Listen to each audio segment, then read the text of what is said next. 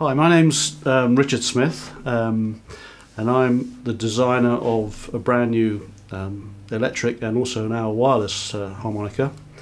And um, this is a, just a little bit of footage just to talk to you about the, the instrument and uh, just explain how it works. So, we can see that very. This is the, the wireless model, and in the back there's a little radio transmitter works on UHF. Um, it's the only thing to use at the moment in terms of um, delay, which uh, the digital problem um, has. Uh, and if you're playing in a band, of course, you need to have live uh, timing so that uh, everybody else is playing at the same beat. Um, digital has got what they call latency, which is a delay, and whilst it's getting better and better and better, right now it's still not good enough for um, live applications. That's not to say that things won't improve um, as time goes by, uh, and obviously when it does, then we'll start incorporating that into our design as well. But uh, right now, we've got this particular instrument. As you can see, no cables, absolute freedom on stage, and uh, it's quite a unique instrument, and it's taken quite a long time to develop. It cost a lot of money with patents and so on, but we're there now and uh, we're ready to rock.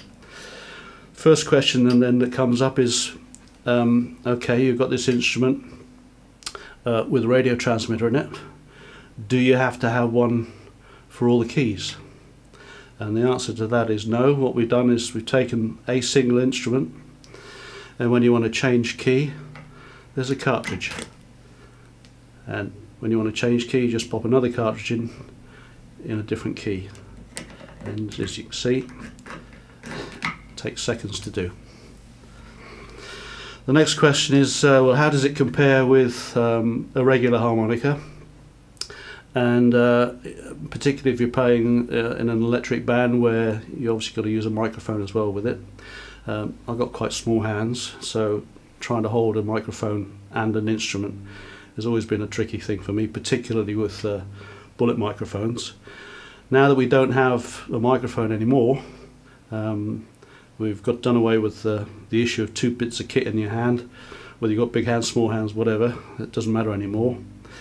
And of course, now that there isn't a mechanical thing behind the instrument, you can't get any mechanical noises that you don't want either. Um, on top of that, the dynamics of using your hands uh, and cupping and so on are far, far better now than they ever were when you're actually holding a microphone as well. So just a quick little demonstration.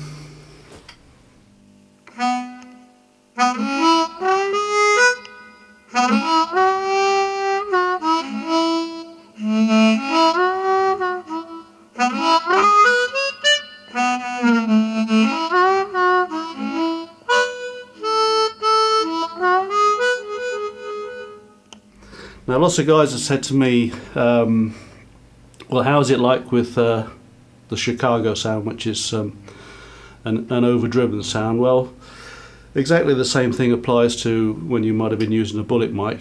Um, basically, the tighter you cup the instrument, the dirtier and more overdriven it's going to become.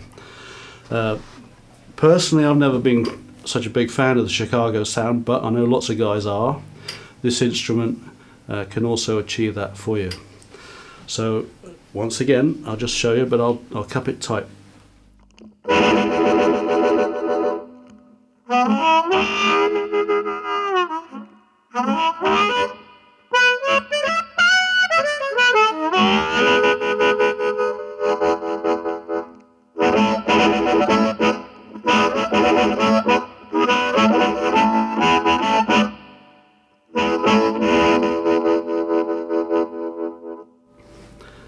And then once again, removing your hands comes back clean.